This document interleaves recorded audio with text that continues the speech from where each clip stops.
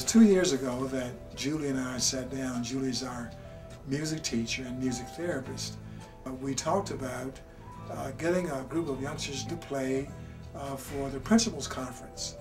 And uh, out of that, uh, this band all of a sudden got started. And the next thing I knew, there was this thing called the Bad News Bulldog Band. They gave me a class and they called it ensemble class, so I could make it anything I wanted to. Rock and roll music and pop music is a great way to, to connect with the students. Um, usually I don't have them for too long. They come to our school for a year or two and then they, they go. And so it's a little bit of an, uh, a unique teaching situation. So I thought I can, be, I can afford to be unconventional and try a rock band instead of you know a typical orchestra or band or choir situation.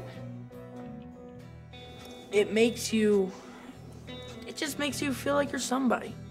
And being in the band just basically makes you feel like hey, I'm a I'm a visually impaired person and I'm out in the world doing something. Well, I enjoyed like the audience's reaction mostly because it helps me like feel feel better about about my about myself about the talent that that I have. I've noticed that they've become more confident. Uh, from the beginning of the year to the end of the year to, to right now, I feel that there's a big difference in their confidence level on stage and the way they present themselves. When I came here, I found out, wow, I can play the guitar, and it builds up confidence, and then you're, you know that you're better at doing more things, and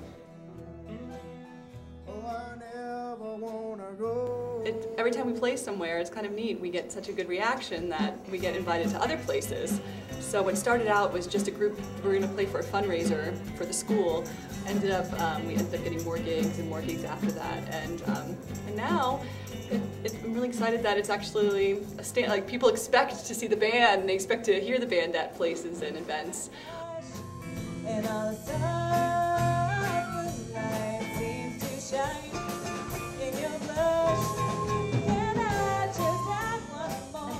of changed the way I play my flute because before I did mostly classical music and, you know, traditional stuff.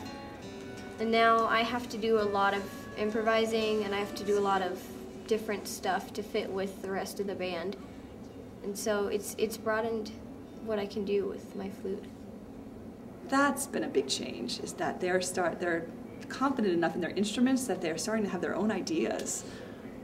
And that's really a, a, good thing. As a teacher, it's gratifying. I'm going to introduce on auxiliary percussion, we have Tyler Nicholson.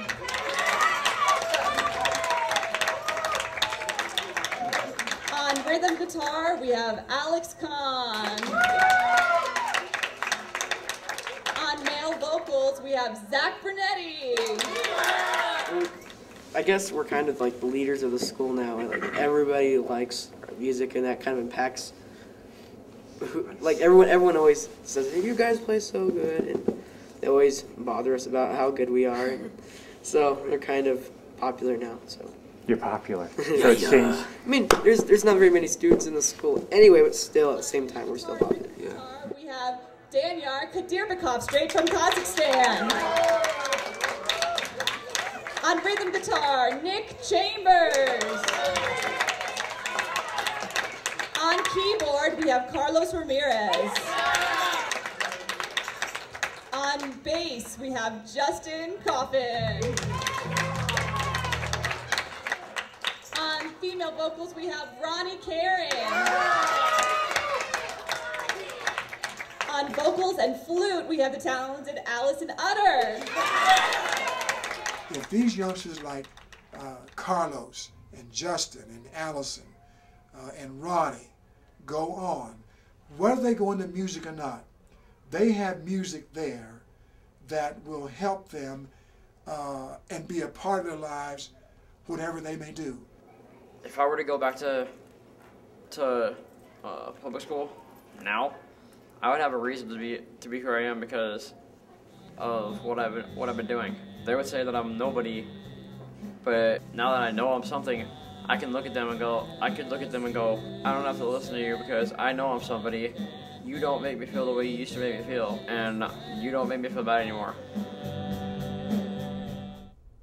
Now, as I, as I grew up here, I realized on how much this school does for visually impaired and blind people, um. and just the higher self-esteem that they give them. Because blind people, blind visually impaired kids, when they're real little, they feel like they can't do anything. My purpose of basically joining the band is to get the point to people, to visual, to fully sighted people. Blind people can do things. Blind people can make a difference.